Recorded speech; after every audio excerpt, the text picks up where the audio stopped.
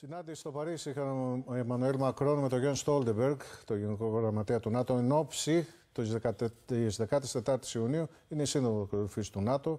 Η Κλειό είναι εδώ. Θα γίνουν και συναντήσεις εκεί. Θα είναι ο Μπάιντεν, θα είναι ο Ερντογάν, ο Μητσοτάκης. Ακριβώς. Ε, Αντώνη, όμως έκανε ιδιαίτερα, ε, ιδιαίτερη αίσθηση οι δηλώσεις που έκανε ο Εμμανουέλ Μακρόν την ώρα που ο ναι. Γενς Στόλτενμπεργκ γενικά είπε εν όψει της συνάντησης ότι θα πρέπει να ενισχύσουμε τη συμμαχία.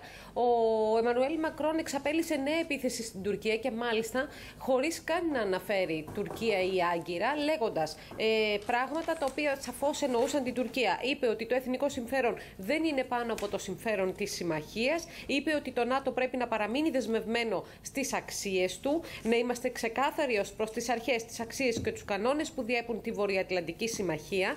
Και συνέχισε λέγοντας ότι η αλληλεγγύη δεν είναι απλά μία λέξη που δεν σημαίνει τίποτα. Αφορά καθήκοντα, ευθύνες απέναντι στους συμμάχους και δέσμευση ότι ο κάθε σύμμαχος σέβεται το διεθνές δίκαιο και τους κανόνες συμπεριφοράς. Και κατέληξε λέγοντας καθαρά πια για την Τουρκία ότι είναι σημαντικό οι χώρες να μην είναι επικεντρωμένες στα εθνικά τους συμφέροντα όπως συνέβη στην περίπτωση της Συρίας, την Ανατολική Μεσόγειο, τη Λιβύη και το Κάφκασο, εννοώντας βέβαια ξεκάθαρα την Τουρκία, χωρίς όμως να την κατονομάζει. Να τον ακούσουμε.